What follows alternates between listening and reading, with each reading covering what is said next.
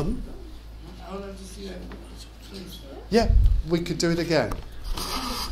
Moses. Now, Moses, meanwhile, was elsewhere.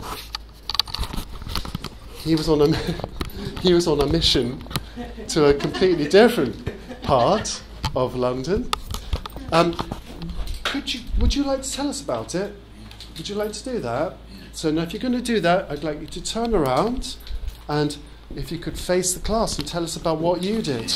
Is that okay? Great. And uh, do you mind if I film you, Moses? Is that okay? And I can ask you some questions as well. Mo-